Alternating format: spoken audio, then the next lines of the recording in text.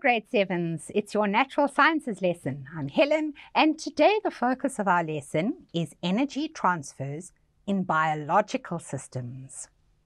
All right, you remember that we're talking about the law of conservation of energy. And remember, that means that in a particular system, the energy stays constant. We're simply going to transfer the energy from object to object or from store to store, from potential energy store to kinetic energy store, even within one of the objects in the system. But the idea of conservation of energy and the law that describes it is that the total energy in the system must remain the same. So if one store loses energy, other stores must gain the energy so that we keep the energy constant within the system. But remember that sometimes we can lose energy. It's not destroyed, it's just lost, possibly and usually in the form of heat energy. And we're going to see that that happens in biological systems as well. So we know that a system is made up of different parts that work together. And a biological system, and I suppose here we could use the words living system, is based on transfers of energy between organisms. I want to even add here within organisms and between organisms and the environment. And you know that you've learned about these energy transfers. You may not have called them energy transfers when you learnt about them, but you are familiar with the concept because you learnt about energy transfers when you learnt about food chains. So let's remind ourselves, do you remember what a food chain is? because a food chain is an example of a biological system. Now, just by telling you that, that a food chain is an example of a biological system, you must expect that within the food chain, you are going to see energy transfers happening. All right, let's look at our food chain and let's try and identify those transfers of energy that are existing within this living system? Well, here we have uh, an ocean food chain or a food chain that appears in a marine system. We start our food chain with organisms called plankton. These little organisms are very often unicellular and they float the surface of the ocean. And we can see they have chloroplasts or little green structures inside them, which means that plankton, these particular kinds of plankton, these floating organisms, are going to capture the sun's energy and they're going to transfer that solar or sun or radiated energy into chemical energy in the forms of carbohydrates that they make to keep themselves alive. And within each of these little plankton organisms, we're going to see energy transfers happening because some of these little plankton can move, some of them just float with the currents in the water, but they all have to break down that chemical energy to allow them to reproduce, for example, and do all of their other activities, living activities, or activities associated with living processes in their little bodies. But as they are floating along, we find a certain kind of crustacean called krill and these are tiny, tiny little shrimp-like organisms. And we're going to see that they take the chemical energy, the potential energy from the plankton that they eat, and they're going to transfer it into their bodies.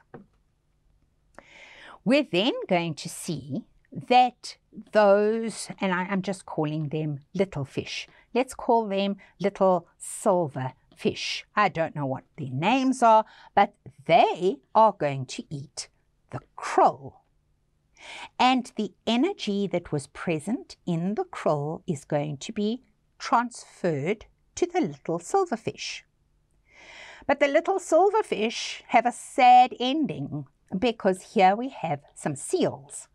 And the seal is going to eat the silverfish, and we're going to see that the seals are going to benefit from yet another energy transfer. But the seals are not that lucky because they are going to transfer their energy, whether they like it or not, to this big orca you might know of an orca as a killer whale, and the killer whale is what we call the apex predator in this particular food chain, and it's going to get the energy transferred from the seal into its body. So we see that their energy transfers within the system from object to object, but there are also energy transfers within the objects in the system. And there is a form of wasted energy. Can you spot it? Well, each of these organisms is going to generate heat. And that heat is going to be lost or dissipated into the environment.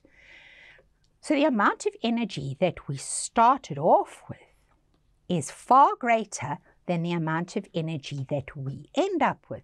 Not because that energy has been destroyed, but along the way, some of the energy has been lost to the environment in the form of heat energy. So let's look at now what we call a terrestrial or a land food chain, a food chain that you might be familiar with living here in South Africa. And we're going to talk about the energy transfers in this particular system. So we could be looking out over grassland or savanna, maybe in the Kruger National Park. How does the energy enter the system? Remember, the system the ecosystem or the situation that we see here of this beautiful grassland, it can't create the energy. The energy must come from somewhere and be transferred into this system. And here we see the sun. Okay? And the sunlight is the original source of energy. We call sunlight possibly solar energy. Or another name that we will learn about is radiant energy. We call it radiant energy because the energy is coming to us on waves of light. So how does the energy enter this system? And it's going to come from the sun in various different forms. We could name that energy solar energy or radiant energy. How is that energy captured and stored in the system? Well, it's going to be all the green organisms, our trees, the grass. Remember, in the ocean or marine food chain, it was those little plankton that captured the sun's energy when they photosynthesized. How is the energy captured? It's captured by the process of photosynthesis, which is simply the word for green organisms making food and that food that they make is in the form of carbohydrates. So it is stored as chemical potential energy. That energy can be used by the plant itself to make little flowers, to grow taller, all of those metabolic or life processes are going to use that store of chemical energy within that object, but it could also be transferred somewhere else. And how would that energy that is locked up in the leaves of our tree, our acacia tree here in the savannah, how could that energy be transferred to a different object in our system? Well, let's have a look.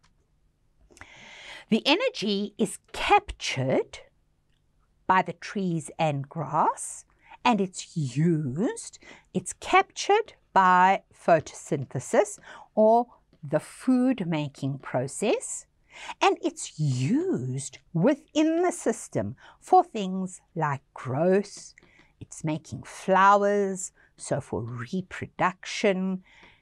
All of those processes are going to cause this energy to be transferred within the tree and the grass.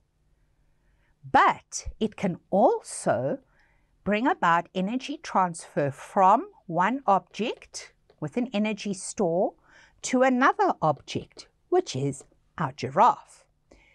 So let's talk about this energy transfer from tree to giraffe. We know that the giraffe is going to eat the leaves from the tree. What we're going to see here is a transfer of chemical potential energy that is present in the leaves or the food of the animal, and it's going to be transferred to the giraffe. And the giraffe is going to store some of that chemical energy and it's going to use some of the chemical energy. And how is it going to use the energy? Well, it has to walk.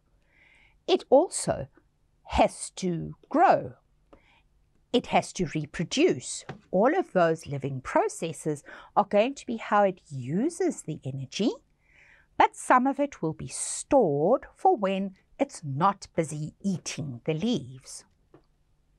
Here's our last energy transfer. Suddenly we see a predator in our lovely peaceful scene, and this energy transfer is going to be the lion eating up the giraffe. So we're going to see the energy moving from the giraffe to the lion. The energy moved from the sun to the plant. It moved within, it was transferred within the plant. It was transferred from the plant to the giraffe. It was transferred within the giraffe. And now, if the giraffe gets eaten by the lion, the energy is going to be transferred to the lion and that energy will be used to allow the lion to move, to undergo its other life processes like reproduction as well. But we are also going to see that at each stage, we're going to see that these organisms are going to lose heat energy to the environment. So our next energy transfer is giraffe to lion, as well as giraffe within giraffe, as well as giraffe losing the heat energy as heat.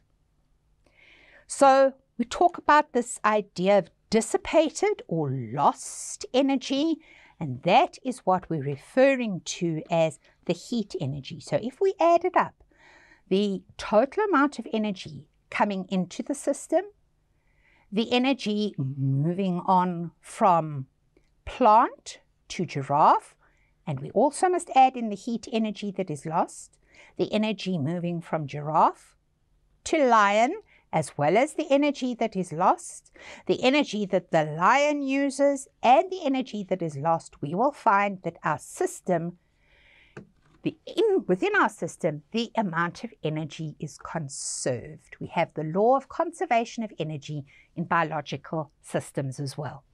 And that's it for today. Look out for biological systems around you and look at your energy transfers. And I'll see you again next time with another lesson. Bye.